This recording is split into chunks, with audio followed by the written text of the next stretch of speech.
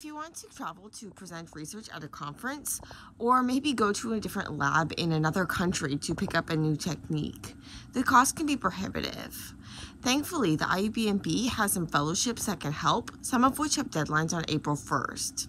So here's an overview of the fellowships that the International Union of Biochemistry and Molecular Biology offers. So the IUBMB they do a lot of different things in addition to these fellowships. Um, so check out their website to learn more about some of the journals that they have, various meetings and things like this. But today we're going to focus on these fellowships and we're going to highlight in particular how some of these are going to have deadlines coming up on April 1st. This would be your mid-career research fellowships, your Tang education fellowships, and your Wood Whelan research fellowships.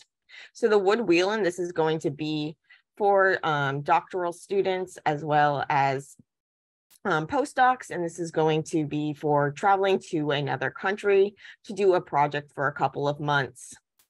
The Tang Education Fellowships, this is for researchers who want to um, kind of focus on education and learn more about a various educational technique or practice a various educational technique the mid-career research fellowships. This is similar to the Wood Whelan, where you're going to another country and you're basically picking up a new skill or doing a new project that you couldn't do in your home country or in your home lab. Um, but this is going to be for people who are already mid-career, so they already have a lab of their own. They just don't have the resources, they don't have the specific expertise that they need to carry out their project. project.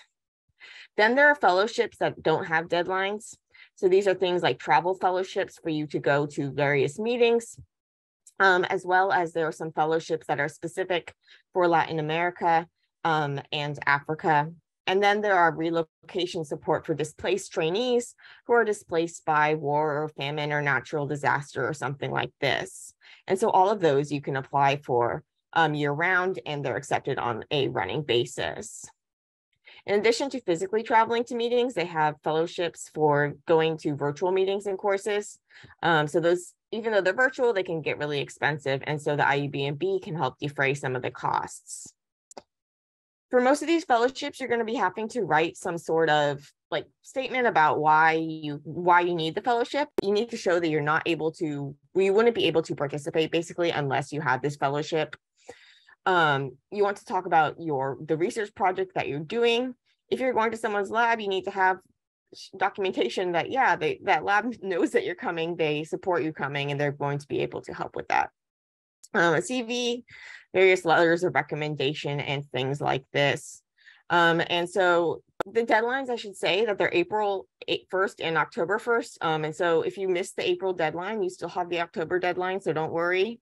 So the Wood Whelan Research Fellowship, remember this is the one for grad students or junior researchers with ten, within 10 years of receiving their PhD. Um, this is going to be where you can go to another lab um, for one to four months. You can get up to 4,000 US dollars for travel and living expenses, things like this.